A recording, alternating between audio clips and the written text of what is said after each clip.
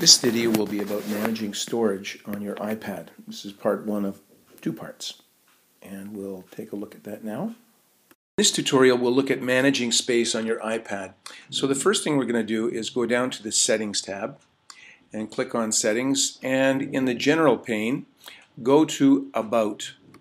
And once in About, you can quickly see how many songs, videos, photos, and applications that you've got what your capacity is, and how much is available to you.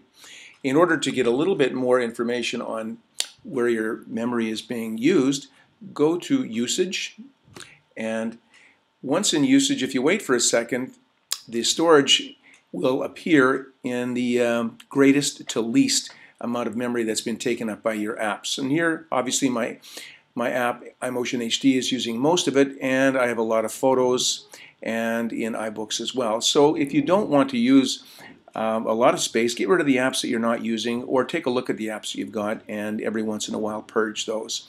We'll take a look at iCloud storage in another tutorial.